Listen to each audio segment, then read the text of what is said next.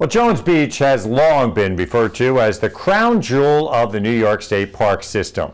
And as Rebecca Fath reports, it's still considered a shining example of what a public park should be 80 years after first opening.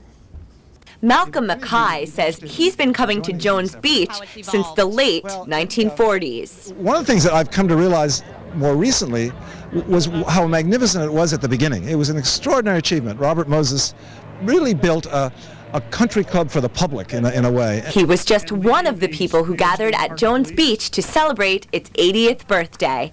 Officials spoke about the history of this state park, and passersby were invited to have a piece of the birthday cake. I'm amazed at the vision that Robert Moses had 80 years ago and how it's lasted and it's grown and it continues to grow even in the tight times that we're in now evidenced by the people who are walking out as we stand here today. What I really love is that it, that um, is, is, its recreational use. The people here come here really enjoy themselves. You, you cannot walk around without seeing that.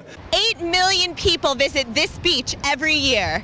That, according to officials who say it is one of the best public parks in the New York area, if not the world. Wherever we travel uh, throughout this country, everybody talks about Jones Beach.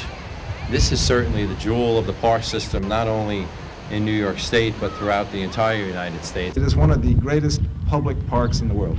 At Jones Beach, Rebecca Fath, LI News Tonight.